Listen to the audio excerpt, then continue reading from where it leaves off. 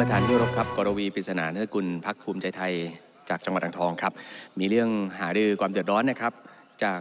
ชาวบ้านที่จังหวัดอ่างทองนะครับ ถึงกรมโยธาธิการและผังเมืองนะครับ จุดแรกนะครับที่ตำบลบางระกำบริเวณหมู่ 2 และหมู่ 3 นะครับ ทางโสดขอสไลด์ด้วยนะครับ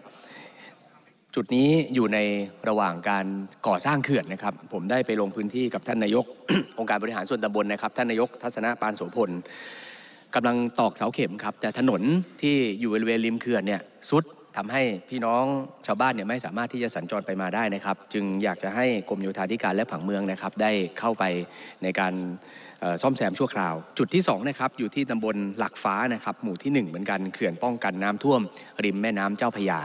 จุดนี้ผมติดตามผ่านสภาผู้แทนราษฎรหลายปีติดต่อกันครับ ตอนนี้เริ่มลงมือก่อสร้าง แต่น่าเสียดายครับในการสำรวจออกแบบนั้น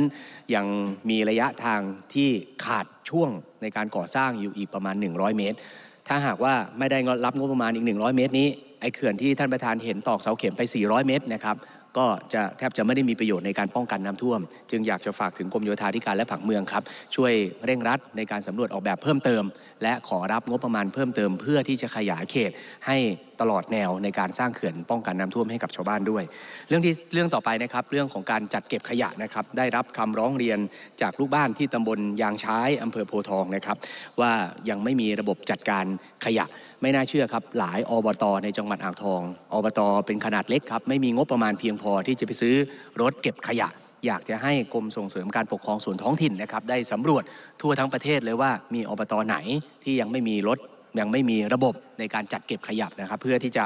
บริการพี่น้องประชาชนให้ดีมากยิ่งขึ้น เรื่องต่อไปครับ ได้รับคำร้องเรียนจากพี่น้อง ในเขตตำบลโพรังนกอำเภอโพทองนะครับถึงถนนทางเข้าวัดคอย ซึ่งเป็นชุมชนใหญ่ของตำบลโพรังนก สภาพอย่างที่ท่านประธานเห็นแล้วนะครับชำรุดสุโทรมสุดโทรม